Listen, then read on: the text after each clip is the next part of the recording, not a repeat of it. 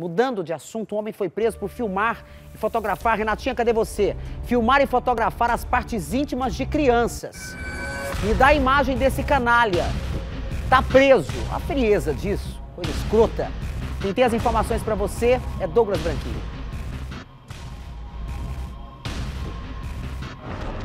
É isso mesmo, Silvia. A Polícia Civil lá em Planaltina cumpriu um mandado de prisão preventiva contra esse homem.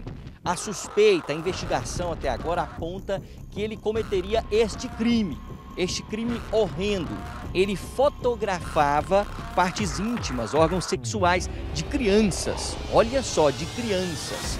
E aí a investigação foi seguindo e a polícia conseguiu juntar um material ali probatório muito grande. Inclusive ele guardava essas fotos ali. A polícia ainda está investigando se ele não repassava também ou até comercializava essas fotos. A investigação ainda tem que seguir nesse sentido. Fato é que ele se aproveitava ali da proximidade com algumas crianças, muitas delas parentes, todas meninas, parentes, filhas de amigas e quando as crianças estavam distraídas, ele fazia, é, ele fotografava as partes íntimas das crianças.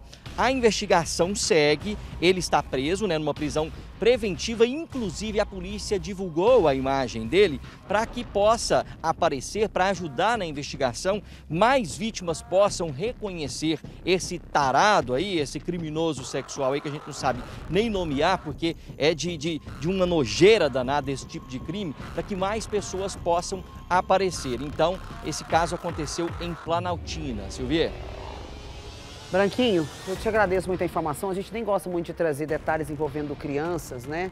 Nessa situação, o público não é muito de aceitar, mas pode acontecer com o filho de qualquer um de nós. Então serve de alerta sim, é importante a gente trazer um fato que é exposto e ainda mais a cara do vagabundo que a própria polícia nos permitiu fazer.